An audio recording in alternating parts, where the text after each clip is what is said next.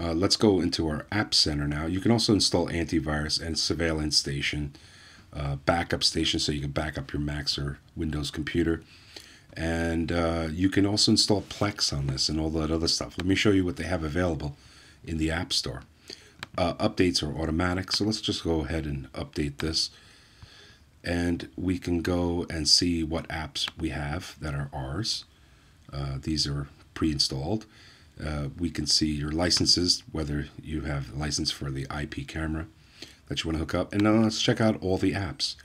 We have Photo Station. We have Video Station. Let's add that. We have Download Station. We could download BitTorrents.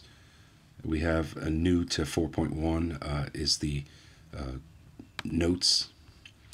And we'll just keep going down. Uh, we have Q AirPlay, which works great. Uh, you'll be able to send any of your uh, videos or whatever to your Apple TVs and AirPlay devices. Uh, what else do we have? We have all these ones here. Most of them I'm not going to use, but uh, it's nice to have. Uh, let's continue down. Uh, we have multimedia station. That's another one. Now, you really don't need multimedia station, video station, all that stuff. I mean, if you just installed Plex and pointed it to the multimedia folder, you basically got everything you need. Let's add Plex because that is my uh, favorite uh, you know service that gives me all my videos on all my devices because Plex is everywhere. Uh, and the good thing about Plex is you can also access it from outside of your home. Uh, you have a PlayStation 3 uh, media server, and you have Twonky Media, which is nice for Roku owners because uh, you can set up this server, point it to the multimedia folder, and uh, AirPlay sort of, or beam uh, your content from your NAS to your uh, Apple TVs or even your Roku or Google TV. You have Transmission, that's an app for BitTorrent.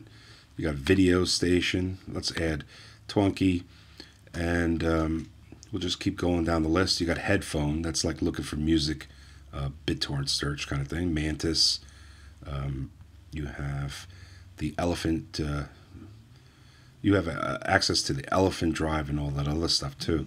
Uh, they give you uh, ways to connect, but with QSync and uh, you know all that, you really don't need uh, most of these services. Everything is redundant after a while. You know, um, you know, don't get confused when you start configuring everything.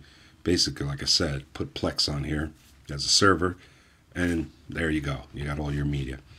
Now, the other thing I want to show you, there's partners and there's also Beta Lab where you can get some beta apps. But basically, this is pretty much all the stuff that they have, um, you know, as as as of today, uh, you know, with these apps. So that's pretty cool. And um, you know, they're telling you the essential apps to get, but like I said, you really don't need them if you want to just use Plex. So DJ uh, Station, you know, they got a whole bunch of stuff. You can install things manually. So like third parties that are not listed here, uh, you might be able to get, um, you know, them installed onto your NAS. Now the one thing I didn't uh, like uh, was there's not a huge community for QNAP, believe it or not. You're trying to look for third-party apps uh, on the Google searches, and you really don't find uh, that much. Uh, with the Synology, uh, when I used that, uh, there was a large community and a lot of people, uh, you know, giving you third-party apps and ways to configure your favorite torrent sites and things like that. And I, I found it a little bit hard in Download Station. See, here's Download Station, and they have a form, but you know, you, you you put it on, and you basically do a B, uh, BitTorrent search or RSS feeds and you can get all TV shows and things like that. But when I try to configure my uh, torrent day, that's the one I use. It's uh, members only. Uh, it's hard to try to configure. You have to try to figure out things when, when with the Synology, it was easy because uh, they have communities that give you automated services that install these links and things like that. But you know, if you're not big on that, and basically what do we use the NAS for? We're going to use NAS for two main things storage and multimedia server. So if you're looking for a way to serve your media. You're looking for a way to get storage, back up your computers, maybe use a VPN. Uh, you can get a QNAP and uh, or a Synology. And if you're just looking to store stuff on your local network, then maybe Drobo is the way to go. There's always third-party software uh, you can use. And uh, that's pretty much it with the 4.1.0 uh, QNAP software. Uh, go down here, download your mobile apps so that you can get on now uh, because we set up the My QNAP Cloud. And you can also go and go down here and get QNAP utilities, and then there's a bunch of utilities that you can use uh, to sync stuff. So if I installed this uh, app onto my Mac, uh, I'll be able to use the QSync folder that's on my NAS and sync things back and forth, eight terabytes worth, uh, or whatever amount you have in your disk array. And then QFinder we used.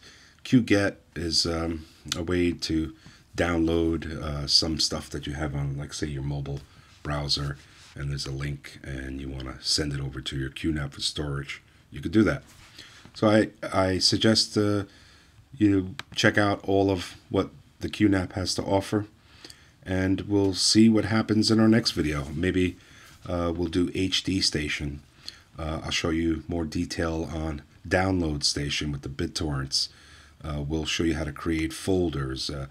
I'll show you all different types of things. So here's my QNAP Cloud. That's our service. It's uh, you know just for me, and I have my devices here, and I can search all my folders and everything. So I hope you enjoyed this video. I hope it helps you understand what you're going to be looking at when you first get your QNAP and uh, you know how things kind of work. Um, I'll get more into detail like I said. I hope you enjoyed this video and I will see you on my next video. Thank you. Any questions, leave them in the comments. And don't forget to hit the like button and subscribe. Bye-bye.